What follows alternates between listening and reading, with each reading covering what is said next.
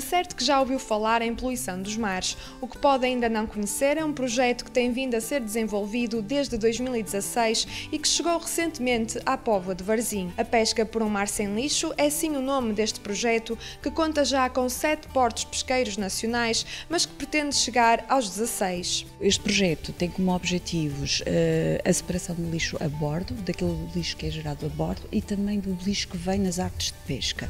Depois temos que ter infraestruturas em terra para a sua deposição e encaminhamento para valorização.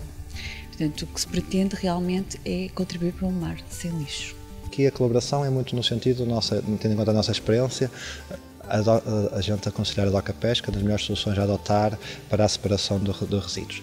Depois, tudo que é resíduos urbanos é através do município, da Póvoa de Varzinha, e, uh, e depois também aconselhamos os resíduos que não, não urbanos, ou os resíduos perigosos, é o melhor encaminhamento que, que a entidade pode dar a esses resíduos.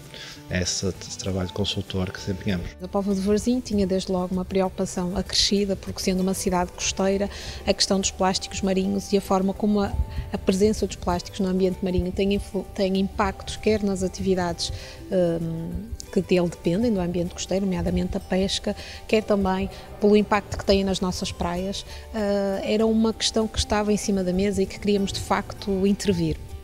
Por outro lado, eh, percebemos que quando fizemos uma abordagem, quer à DOCA Pescas, quer às associações dos, dos armadores, percebemos que era também um projeto que eles já tinham em mãos e que estavam também em vias de implementação. Portanto, aqui juntou-se uh, interesses comuns e, e, a oportunidade foi efetivamente esta para lançarmos então o projeto. Este projeto uh, que nós uh, decidimos arrancar com força Posso dizer que na minha associação requisitámos 120 contentores, a adesão foi quase a 100%.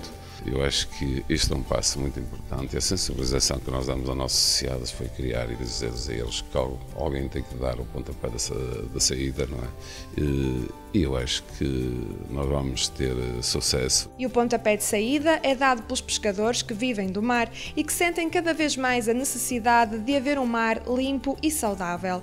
E por isso abraçaram este projeto desde o início, sendo que cada embarcação tem um contentor onde cada tripulante pode depositar o seu próprio lixo e ainda o que recolhem do mar. Vejo uma ótima ideia que já devia ter eh, sido imposta já há muito tempo.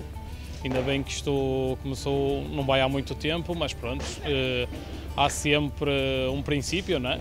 Eu já fazia isto já há muito tempo, mas através da Associação da ProPesca eh, incentivar-nos a trazer o lixo, dando os caixotes e os sacos plásticos para a gente, tudo o que pudesse trazer para a terra, trazer acho que estamos num bom caminho. Isto também está a chegar a um ponto que, eh, através das redes sociais e todo lado, vê-se que o mar está cada vez mais poluído e cada vez que aparece peixes mortos vem eh, com resíduos de plástico e tudo, e o pessoal começa a ficar mais sensível, principalmente estas rapazes novas, novas gerações que andam ao mar e tudo, nada melhor do que eles para, para incentivar, mesmo os mais antigos, que era uma coisa que antigamente ninguém estava habituado a fazer. Há, há, há muito lixo do próprio fundo do mar.